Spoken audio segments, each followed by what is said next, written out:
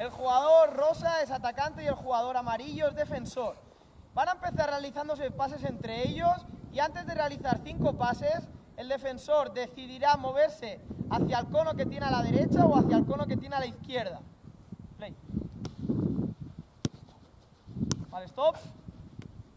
Ahora el defensor, por ejemplo, después de pasar el balón, se va a mover hacia uno de los dos conos. Si se mueve hacia ese lado, el atacante deberá dirigirse hacia esta portería.